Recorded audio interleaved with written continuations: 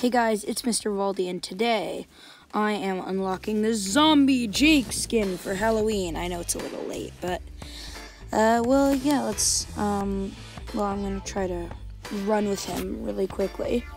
Uh, just see how he looks when he runs, see his running action. But, yeah, let's get into it.